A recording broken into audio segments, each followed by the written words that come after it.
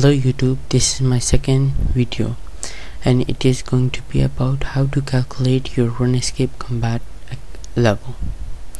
As you know my objective is to make useful videos so I typed RuneScape combat level calculator in YouTube and some videos were available but they were hard to understand so I decided to make my own video so you go to the website runehq.com the link is just down. So here you put your username and your level will come.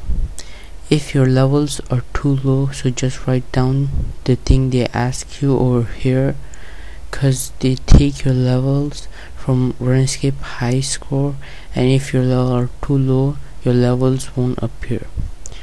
Shogi 5 here you and here you go it says that my combat level is 96.5 which mean 96 and that is true this thing really works so go to the website try it out by the way runehq.com is really a cool website it can help you with a lot of stuff quest, treasure trails, information on item and much more.